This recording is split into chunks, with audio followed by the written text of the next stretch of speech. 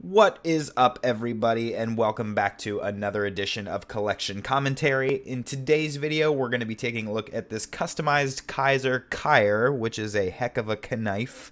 Um, I bought this knife with the intent of having it customized. I bought the bought the um, plain titanium version. There is a like bluish green uh, pre-anodized version that Kaiser offers, but I wanted something in purple that had uh, these polished ridges. Um, and so that's what made me pick this knife up.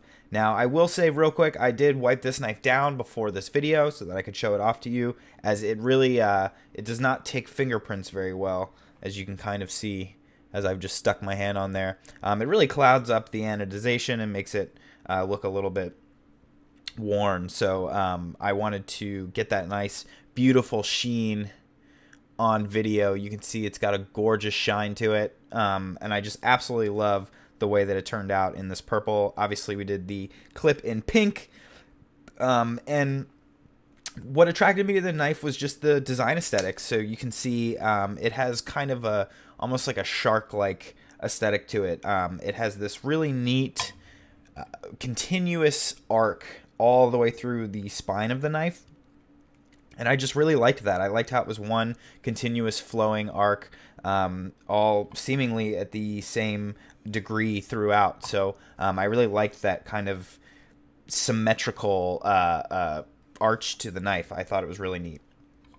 Um, and of course, I really like the polished ridges as well. That was a big selling point for me um, in terms of doing the customization was being able to shine those up. Um, so I think that's a really uh, neat feature of the knife. Something else that we did was a light stone wash to the blade. Um, might not be the easiest thing to see, but uh, the blade does come in, I believe it was like a satin finish. Might not have even been satin. Um, I'm having difficulty remembering, honestly. I bought the knife, pulled it out of the package just to make sure everything was okay, and then immediately shipped it off to have it customized. Um, so a couple of thoughts about the knife. It is a little bit tinky when you close it. Um, it is only a $200 knife, um, so you're not going to get some of those super satisfying um, actions that you might get from knives that are in a higher price point.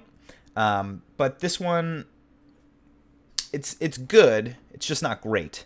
Um, and so it does have a little bit of that tinkiness. You can hear it when you close it up. Um, it's just not super solid. Um, and that's another thing about the knife is it kind of feels kind of flimsy. The clip is a little bit flimsy. It's don't know if you can hear the vibration. Maybe not, but um, it's uh, it's really thinned out in this section here, which is great for giving room for your um, for the material on your pants, but it just really leaves something to be desired for solidity. Um, and the tension on it, it's only resting up against one of these little ridges. Not going to really be able to show you that, but um, it makes for the tension to be a little bit vibratey. Um, and so I don't know. I read about some people complaining about the clip. I think it works just fine, um, but that is something to note that it just doesn't have the same um, quality that you might get from like a milled clip or something like that, even though it is titanium. Um, I will say I really dislike the flipper tab on this knife. Um, it's not super effective. You can't light switch the knife at all, really. Um, I guess if you do it really hard, you can get, manage to get it out, um, but especially not if you're vertical uh, gravity is just too much. Um, and then even if you push button the knife, if you do it well, you get a pretty decent deployment. Nothing crazy, pretty decent. Um, but again, if you don't give it that much effort and you just kind of naturally push button, you only get lock up about, you know, 30, maybe 50% of the time, depending on how hard you're pushing. So uh, the knife does do a lot better with a bit of a wrist flick, which is not something I'm super fond of on a flipper. You know what I mean? I, I understand uh, being having a benefit of wrist flicking on my Sequoia. You know, it does deploy just with the thumb stud, but a wrist flick is going to give it a really solid um, smack into the um, stop pin. Whereas this uh, kind of requires it if you're going to get the really solid deployment every time. Um, now you can use this hole here for uh, finger deployment. You can either use your thumb and kind of manually open the knife and bring it around. Um, you can flick it open as well with your thumb, um, and then you can get your uh, middle finger in the back here as well. You can kind of manually pull it out. Oh, gonna hit the desk there. Um, and you really have to flick your wrist um, to get it out with your middle finger. Um, it's kind of hard for me to do. I don't usually have as much trouble with it as I just did there um, in displaying that. That's just because I have really close quarters. Um, but it definitely requires a bit of a wrist flick to get it out with that middle finger. Um, so that's something that's I'm not super satisfied with on the knife. It, it requires it, it is not effortless deployment every single time as it would be on some of uh, some of my more expensive knives. So again, it's not a huge deal. Um, the knife doesn't cost all that much. Um, now there is no really super ergonomic way to hold this knife. Um, if you hold it in the saber grip, uh, your you, this is the natural way I'd be holding it, and you can kind of see it's at an angle. Um, it it is not straight as uh, it appears here, and that's because of the curvature of the knife. It's just the way it kind of falls into the hand. Um, let's see here. Where's the 604? So you can see the 604 kind of naturally falls in the hand through uh, this line right here this line in your hand, and that's kind of where your hand naturally closes up. It's kind of the center of where your hand closes up, and that's right where the 604 kind of wants to sit. Whereas with the uh, Kyre, you can see because of the curvature, it's actually in this first crux, really, of the hand. And so when you close it up, it's getting caught in this first crux, and then as you get to the middle crux, it's kind of folding in on itself. It's kind of getting twisted into this awkward angle um, because the knife is actually sitting much further up in your hand as opposed to down here where you might actually want it. And if you hold it down here, then you have all this space that's not being um, doesn't give you a very sturdy feel. So this does not feel super great or natural either. Um, it has an okay murder grip. Uh, the clip does fall away pretty well, so I do uh, support that grip.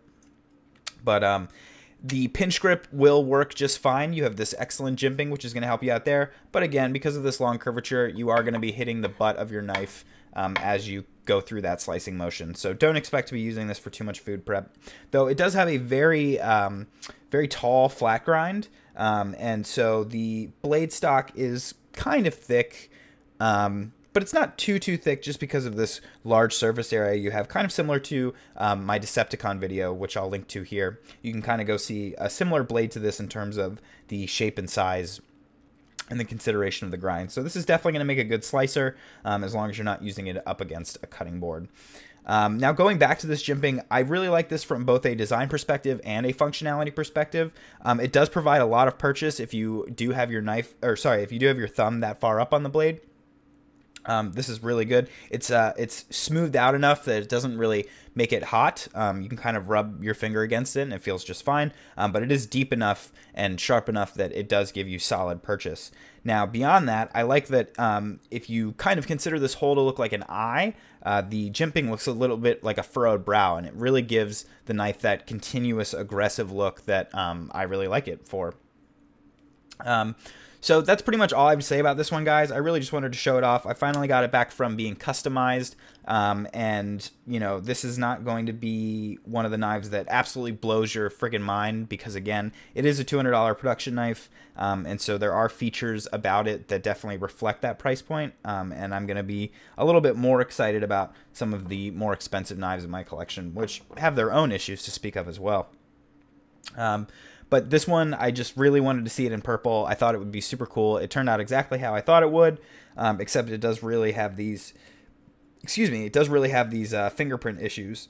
But that's something that, you know, you're going to experience on any knife with a lot of anodization. So not too big of a flaw. Um, I definitely recommend picking this one up if you are interested in something that's a little bit unique um, and you're still kind of playing around in that lower price bracket. Um, Kizer makes a lot of great knives. I've loved all of the knives that I've had from them. This is probably my least favorite, strictly in terms of functionality. Um, all the other Kizers that I've held have flipped a lot better than this. So this has definitely the weakest detent. Um, and and the worst action just in terms of success rate um, and ease of deployment uh, compared to some of the other Kizers I've handled. But this one is certainly the most unique in terms of design aesthetic, um, and I definitely recommend the plain tie version being a great uh, platform for customization. Uh, this just totally seemed right out of the box to be perfect for it. I will say that um, it does not say anywhere that this that the frame is PVD coated, um, but the gentleman who I sent this out for customization to